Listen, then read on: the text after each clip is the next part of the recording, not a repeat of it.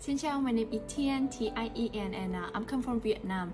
Uh, I study and graduate my uh, BA degree at Hoa Sen University, and my previous uh, job is I were working at Sheraton Saigon Hotel and Towers.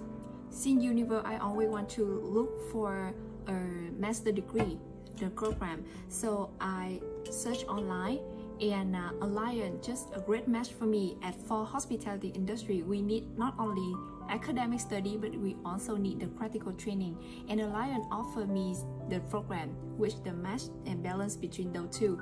So that's why I know and choose Alliant as I want to achieve a master degree to become a lecturer at my home university back home. So uh, after this program I want to achieve the master degree of course and uh, I may want to keep working to get more experience for one to two years and then apply for a lecturer position in my home university.